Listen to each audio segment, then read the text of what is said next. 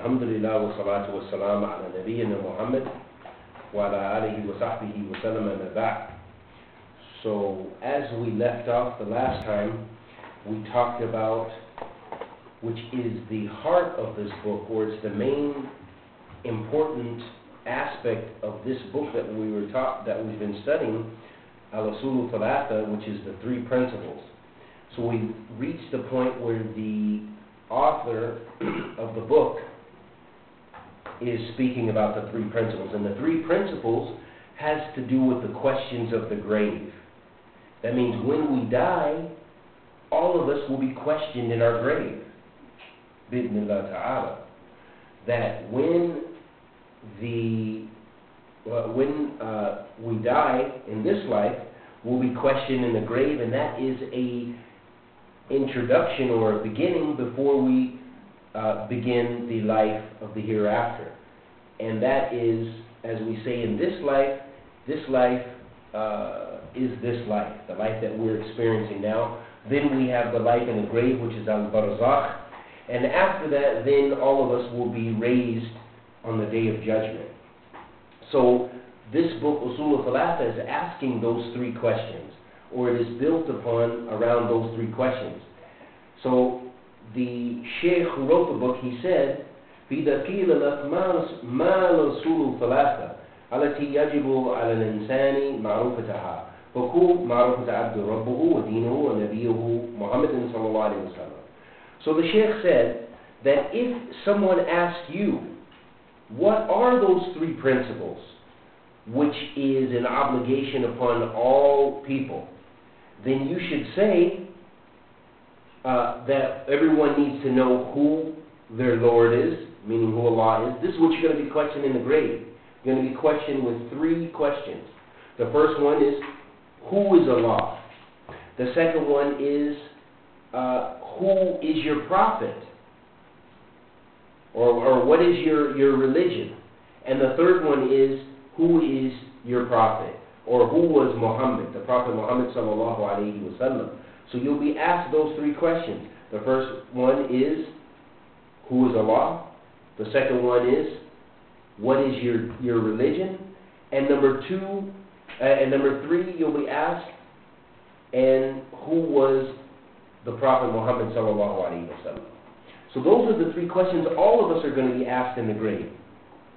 And again, that is the main point that this treatise or this book was uh, written to inform people and remind people of the most important things that we should focus on in this life and which gives us the purpose in this life, and that is to worship Allah subhanahu wa ta'ala alone. That Tawheed of Ibadah, or Tawheed, which relates to the worship of Allah subhanahu wa ta'ala alone, is the most important thing that we could ever focus on. And it is the goal and the focus of us in our life. As Allah says, that I have not created mankind and the jinn except for the purpose of worshiping me.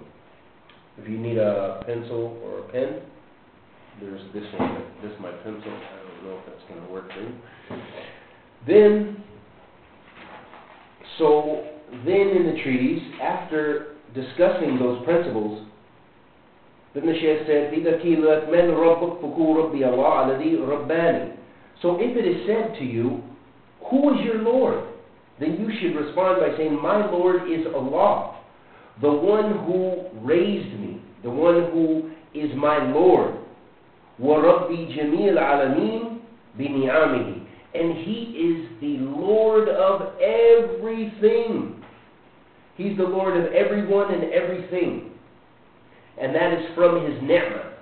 That is a part of Allah's favor upon us as the creation that He is the that He is our Lord because He's so merciful. He created us and He gives us, He sustains us, as we mentioned before, He is our Razak, He provides for us, He sustains us, He blesses us with with uh, the opportunity to seek forgiveness from Him and to worship Him and do those things which please Him.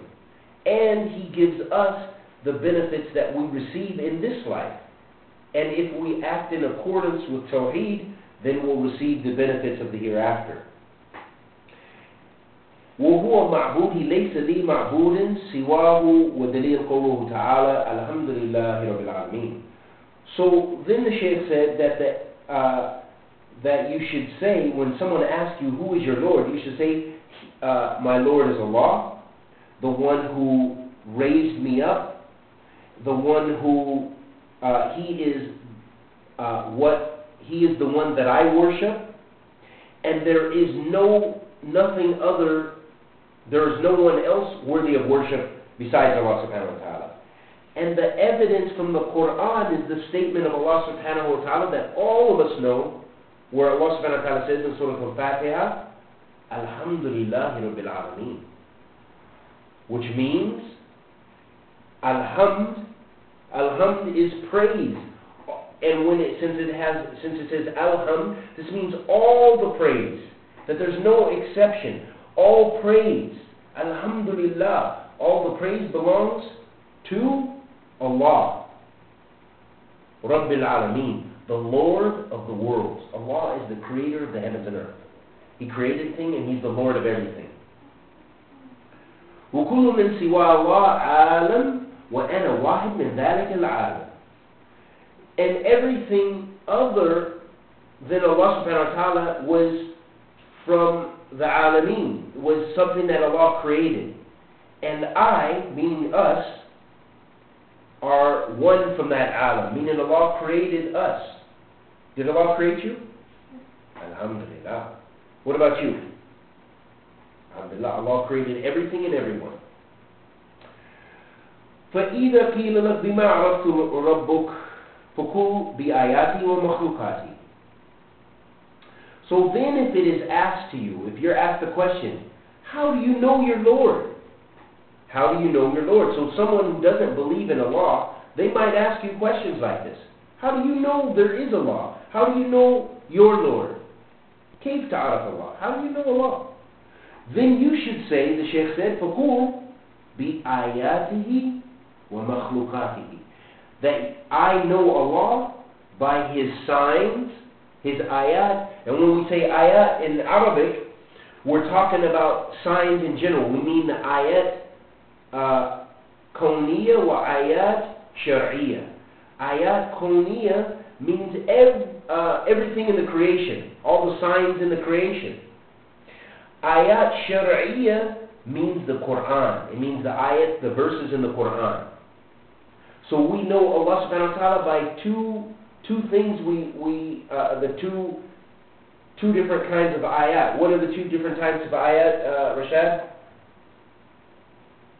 What are the two types we just named? How, what, what ayats do you know? You know you know the word ayat or ayah. What is that talking about? What does that mean? Mm, you don't know ayat? You never heard the word ayat before? What is it? You don't know what ayat is? Is it this telephone right here? No. What about this bookmark? No, it's. Okay, it's verses in the Quran. That is the ayat shar'iyya. The ayat kawniyya, meaning related to everything else uh, that's created aside from the the ayat shar'iyya, is the signs in the creation. For example, when we see, uh, when you watch National Geographic, for example, the wildlife or animal kingdom or whatever it is, and you see those beautiful animals, you see the hippopotamuses and they have babies, you see lions fighting and hunting. Those are signs of Allah subhanahu wa ta'ala. Those are ayat, those are signs that we see them, uh, those are evidence that Allah is the creator of the heavens and earth. And those are His magnificent signs in His creation. We see that, subhanAllah, the mother, she carries a baby in her stomach for nine months. That's a sign from Allah subhanahu wa ta'ala. That is amazing. Subhanallah. That is, those are the ayat kawniyah. That has to do with things in the creation. The ayat shari'iyah deal with the Quran, the verses of the Quran, and so forth.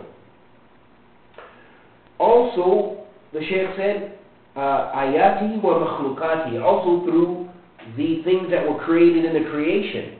That we see many fascinating things in the creation. That, those are, uh, that is what Allah created.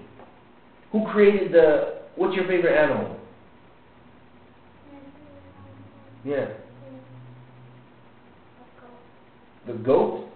Well, that's a strange animal to, to love. I never heard anybody love the goat like that, but mashallah. Well, goats were created by who? By Allah subhanahu wa ta'ala.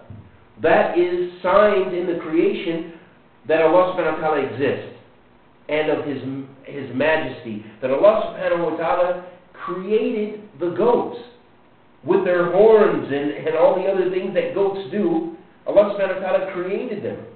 And if we were to really study them, I'm sure we'd find many fascinating things about that animal and many other animals. Those are the creation of Allah subhanahu wa ta'ala, and those are also evidence of that Allah subhanahu wa ta'ala exists and that Allah is the creator of the heavens and earth subhanahu wa ta'ala.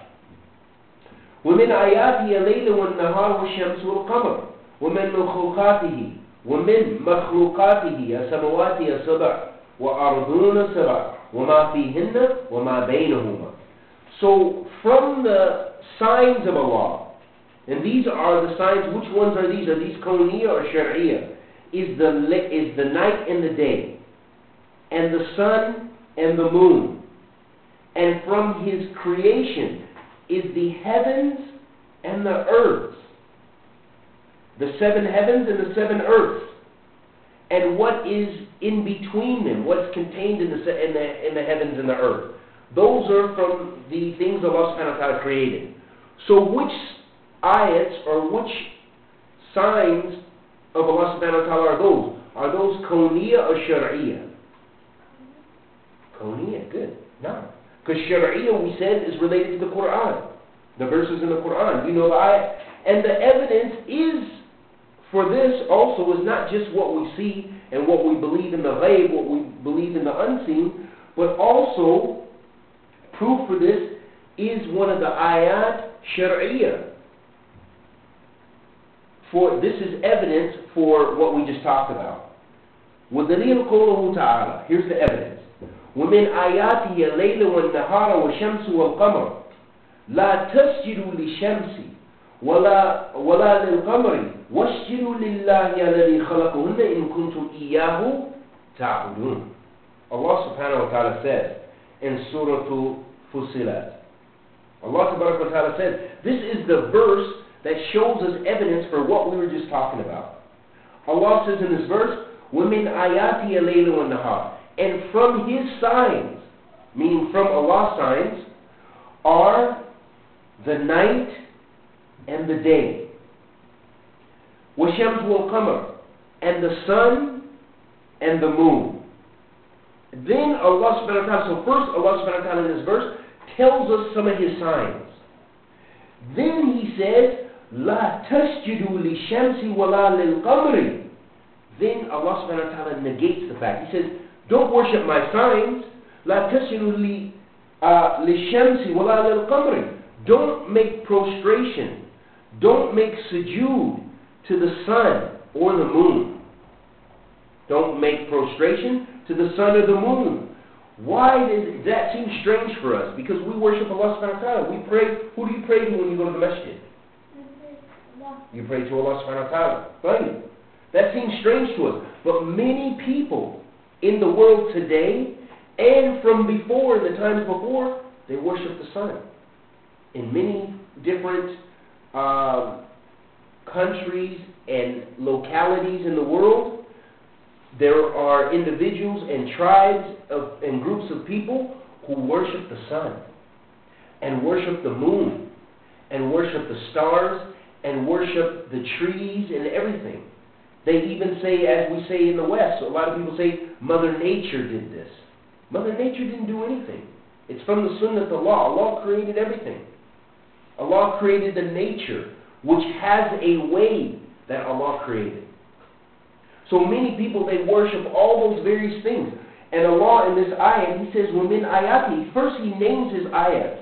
He said, and from His sign is the day and the night, and the sun and the moon. And then he says, La tustu, don't prostrate to the sun nor the moon.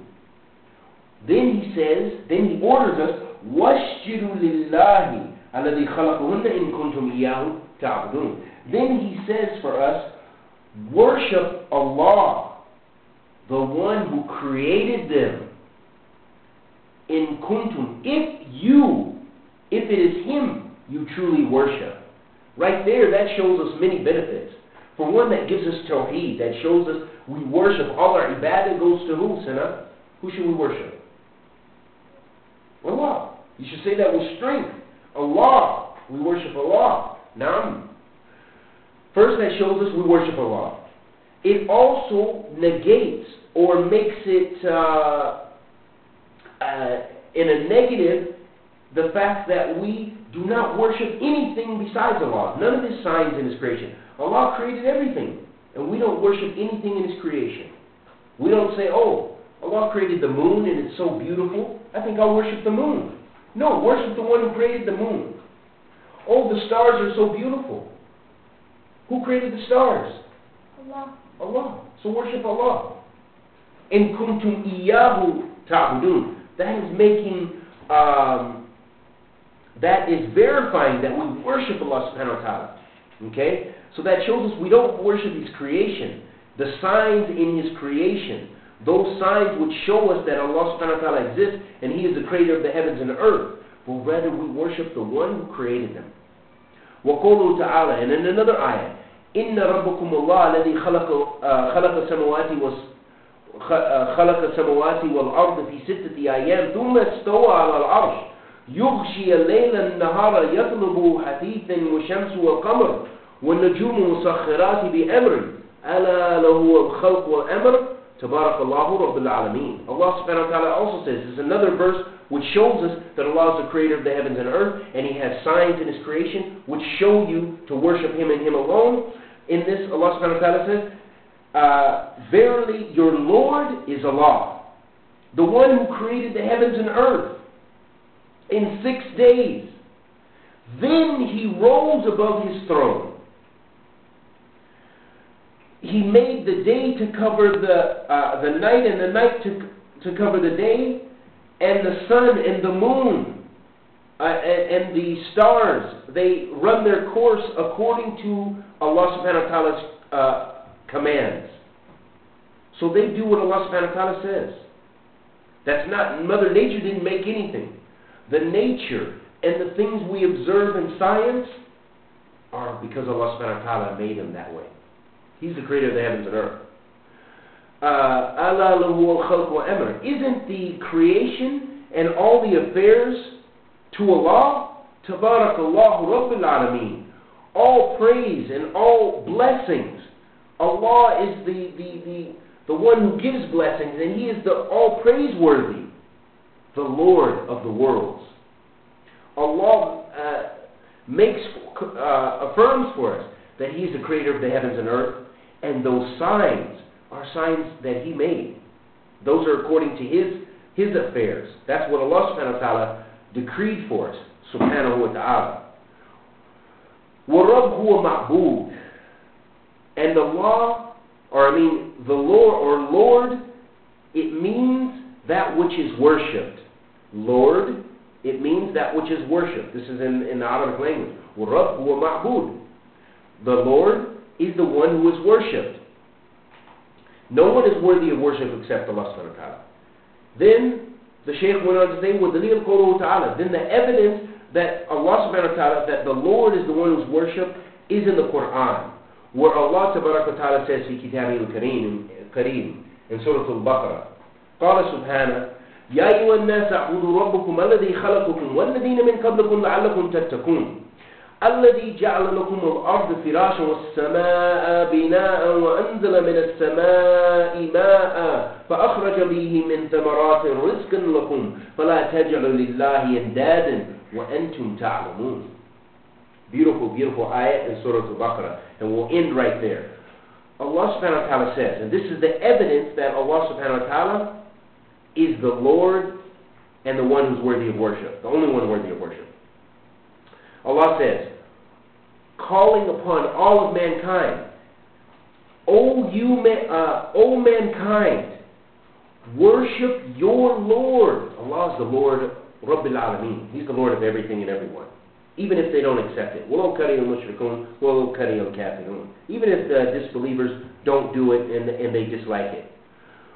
O mankind, worship your Lord, the one who created you and created those who came before you. So, in order that you would fear Him, Allah created them so that they would fear Him. So, you, we have to acknowledge that we have to worship Allah subhanahu wa ta'ala so that we will fear Him. How do we fear Allah? By practicing His commandments, by practicing the Sharia, by practicing what Allah subhanahu wa ta'ala commands for us. That's how we fear Allah subhanahu wa ta'ala. الذي جعل لكم الأرض فراشا والسماء بناء the one who made for you the earth like a bed, and the skies built, uh, were built up, وَسَمَاءِ بِنَاءٍ وَأَنزَلَ مِنَ السَّمَاءِ And He sent down from the sky water, meaning rain. Allah sent rain for us as sustenance. فَأَخْرَجَ بِهِ مِنْ ثَمَرَاتِ رِزْقًا لَكُمْ Allah subhanahu wa ta'ala sent from the, the, the heavens, He sent rain down for us as provision in order to provide fruit and vegetables and provisions for us.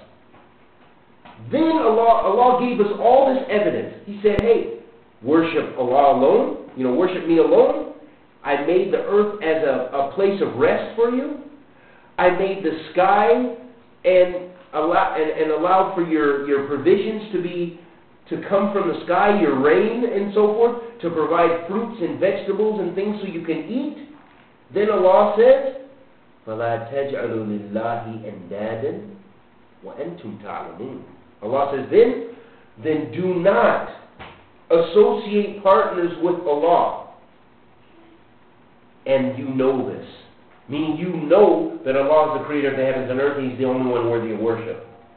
Subhanahu wa ta'ala. So that is some of the beautiful things there related to uh, to this book, but more importantly, affirming for us that Allah subhanahu wa ta'ala is the only one worthy of worship.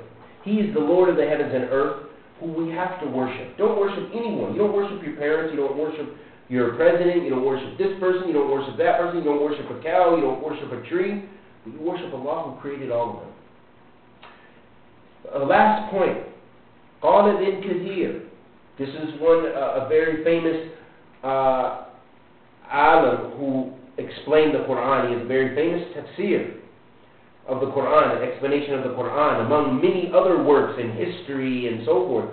Uh, uh, Ibn Kathir. قال ابن كثير رحمه الله تعالى الخالق لهذه الأشياء هو مستحق للعبادة. That's the last point I want to make. Ibn Kathir said, after that verse, explaining that verse, he said, The one who created those things, he is the one worthy of worship. So that affirms for us worship because Allah subhanahu wa ta'ala created you. So he's, he's worthy of worship. He's the only one worthy of worship. He created you. He created the sun. He created the sky, as we mentioned in the verse, which brings down the rain, which brings down the, the gives us uh, fruits and vegetables and the other things and feeds the animals that we eat when we eat meat. There's a life cycle, a whole cycle. Who created that cycle? Allah subhanahu wa ta'ala created it. Allah subhanahu wa ta'ala is the creator of the heavens and earth, and as uh, Ibn Kathir, Al-Alam, Al-Yani, Al-Bahr, you know, the ilm, he mentioned Ibn Kathir he said, Al-Khaliq lil-hadhihi al-ashya wa mustahiq lil He said, the creator of all of those things is has the right to be worshipped alone. That's Allah subhanahu wa ta'ala's right. And I ask Allah the Almighty to accept our good and forgive our evil and protect us from kuli su wa makru. Wa sallallahu wa sallam ala nabiyyina Muhammad wa ala alihi wa sahbihi wa sallam.